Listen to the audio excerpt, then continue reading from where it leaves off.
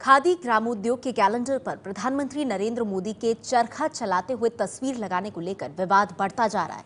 महात्मा गांधी के प्रपौत्र तुषार गांधी ने बड़ा बयान दिया है।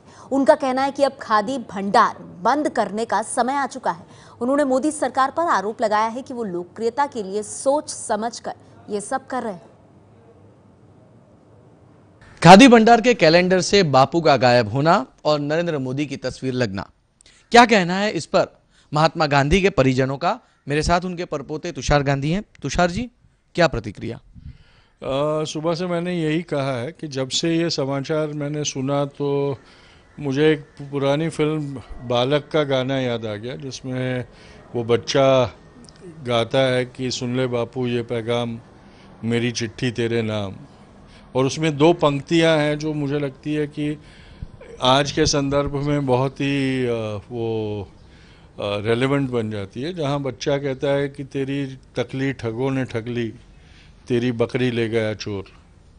आज सिचुएशन वो आ गई है कि वो गाने की पंक्तियाँ सार्थक बन रही है और मैं सुबह से ये गाना गुनगुना रहा हूँ कि वो जो कवि होंगे वो कितने आ, आ, कितने उनकी दिव्य शक्ति होगी कि उन्होंने भविष्य में होने वाली चीज़ के बारे में टिप्पणी तभी से कर दी थी।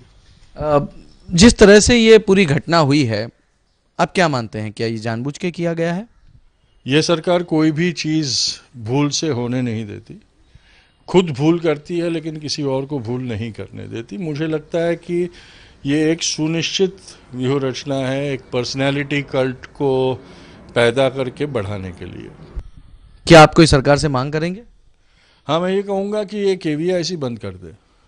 क्योंकि वो खादी का अगर कोई सबसे बड़ा दुश्मन है तो के है। वो वैसे भी बापू की खादी बनाते नहीं, अब तो उन्होंने इकरार कर लिया कि वो प्राइम मिनिस्टर की खादी बनाते हैं। वो बापू की खादी है नहीं तो ये ढोंग बंद कर दे।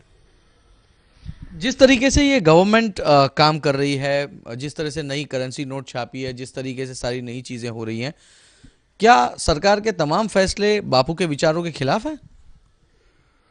बापू के खिलाफ, बापू के विचारों को तो उन्होंने कभी मान्यता ही नहीं दी है। तो कभी कहाँ से हम ये दोष उनके ऊपर नहीं डाल सकते? क्योंकि उन्होंने बहुत ही खुले मन से ये कहा है कि वो गोडसेवादी है, वो गांधीवादी नहीं है। बहुत बहुत शुक्रिया। यानी बापू के परिजन जिनका कहना है कि अब खादी को बंद करने का सही समय आ चुका है। मयूर परीख है बीपी न्यूज़, मुंबई।